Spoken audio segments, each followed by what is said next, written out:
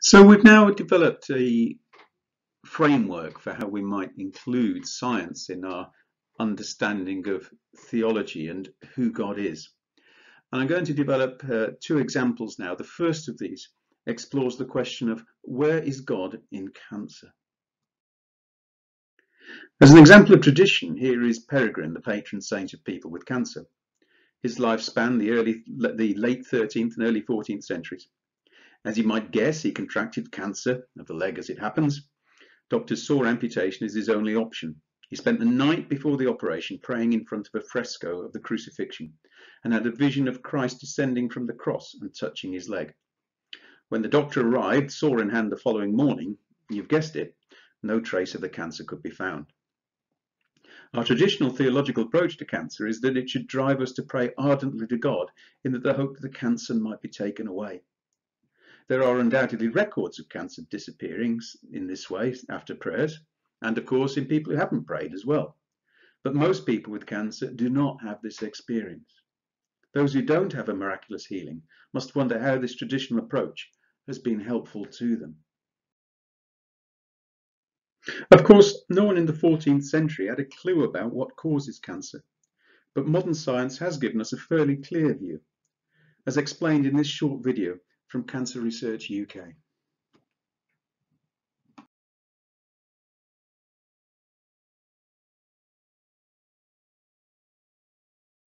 Our bodies are made up of 100 million million cells. They're so small you can fit 100 cells on the top of a pinhead. Most cells have a nucleus, cytoplasm and cell membrane. The nucleus is the cell's control centre and holds the cell's DNA.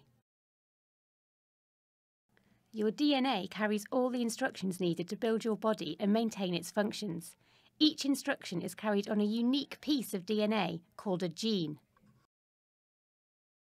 Cell growth and multiplication is part of a continual process called the cell cycle. To move through the different stages of the cell cycle, each cell has to go through a series of checkpoints. These checkpoints act a bit like traffic lights and they only give the green light to a cell that's ready to go through to the next stage in the cycle. Only healthy cells are allowed to multiply, and so the cell cycle must control which cells are allowed through. The DNA inside cells can sometimes be damaged, either by mistakes in the normal processes in our cells or by things in our lifestyles or environment.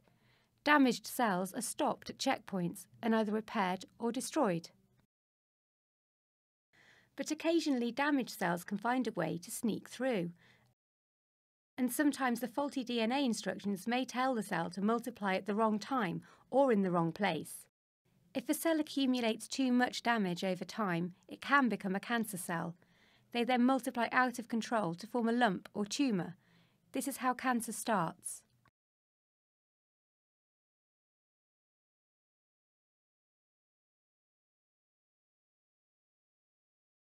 To summarize, we no longer need to think of God as causing or allowing cancer in any sense, because we now know that it's caused by a random mutation to one gene in one cell and the failure of the immune system to detect this.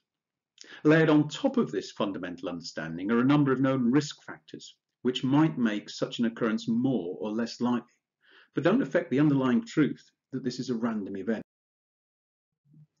There are very few, if any, cases of cancer being reported in the Bible. But Jesus was questioned about a man born blind from birth by his disciples who, in keeping with contemporary understanding of diseases, asked what the man or his parents had done to deserve such an affliction. Jesus answered that it was neither, which would be in keeping of our understanding of congenital blindness. So, where do we experience God in our response to cancer? Well, he's everywhere, isn't he? Working within a whole range of individuals, each responding to the cancer according to their personal qualities and their professional knowledge. There are those scientists applying their training to create new knowledge about what causes the disease and how it can be treated. There are surgeons and other medical staff putting that understanding into practice. Then there are those wonderful nurses supporting people through all stages of the disease, and family and friends who rally around. Last but not least to the army of ordinary people dressing up in pink, running marathons and half marathons, raising funds and raising awareness, and showing solidarity with those less fortunate themselves. So, how do I make sense of all this? I don't see the God in the cancer itself. My scientific knowledge allows me to see this as a random occurrence. But I do see God in the way that our community responds with such love to those who have cancer. And for this, I want to give thanks and praise.